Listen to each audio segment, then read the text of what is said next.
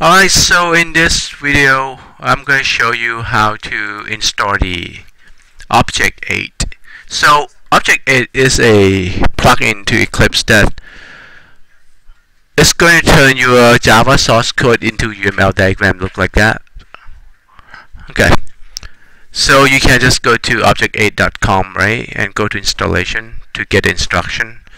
So let me demonstrate that. So the key is you're going to go to install new software and add and when you add you get this dialog box that you're going to copy this URL right? Help right?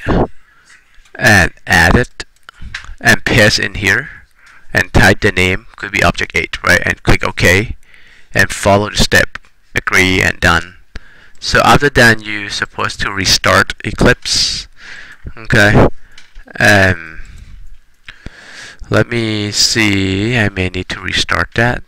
Because I just installed that. Let me restart Eclipse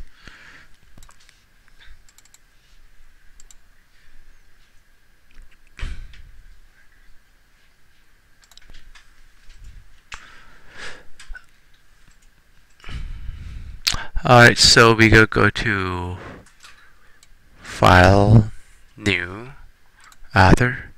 So we're looking for Object Aid.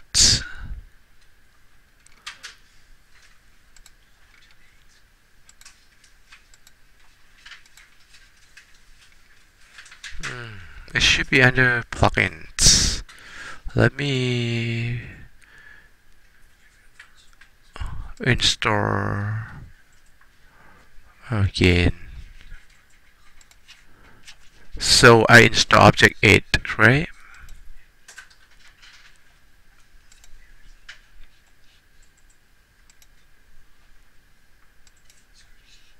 Right there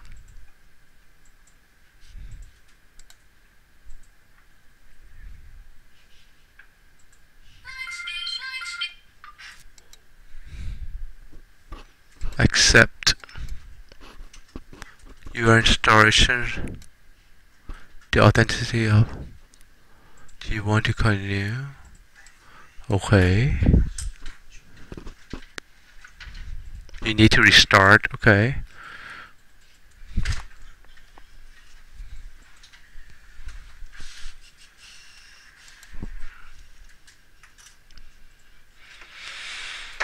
Alright, so let's see how we use this. There you go. After you start, you see that. See that? It's supposed to have object aid. Alright. Class diagram, right? We want to create a class diagram. Uh, you can pick the location. I'm going to put inside loops. The name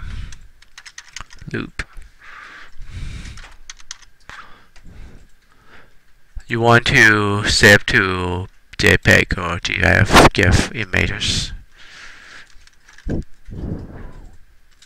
And this is just pick the defaults. Okay, what you want it to show, like public, private, package. Finish. Alright, so we have that. Now the next step, how to use this. Alright, so let's create the Java code. I didn't create any yet. So, could be uh, we talk about person, right? Person.